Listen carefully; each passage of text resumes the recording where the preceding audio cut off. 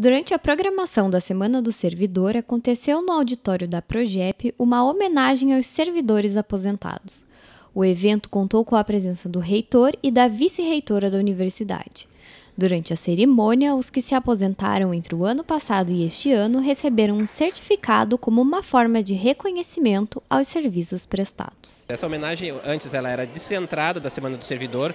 Nós queremos que é, é, esse ato permanecendo junto à Semana do Servidor, seja uh, um ato simbólico e concreto da nossa, uh, da nossa ideia de que o servidor aposentado não pode ficar à margem da universidade, ele deve fazer parte da vida da, da, da universidade e por isso a integração da homenagem dos servidores aposentados junto à Semana dos Servidores. Então é uma alegria sempre peculiar, particular, é, poder ter uma ocasião de dizer isso diretamente àquelas pessoas que dedicaram tanto da sua vida profissional aqui para a nossa universidade, que fazem parte da nossa história. Essas homenagens são realizadas todos os anos e são importantes para mostrar o quanto os servidores aposentados têm orgulho de terem passado pela universidade.